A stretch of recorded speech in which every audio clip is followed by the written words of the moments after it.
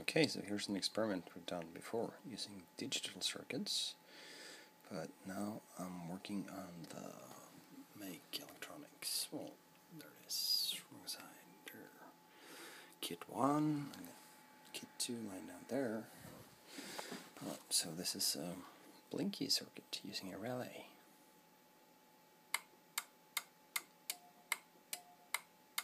Kind of cool